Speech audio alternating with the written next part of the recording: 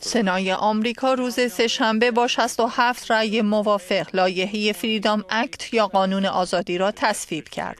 باراک اوباما رئیس جمهوری آمریکا نیز پس از تصویب سنا این لایحه را امضا کرده و به این ترتیب قانون فریدام اکت اجرایی می شود.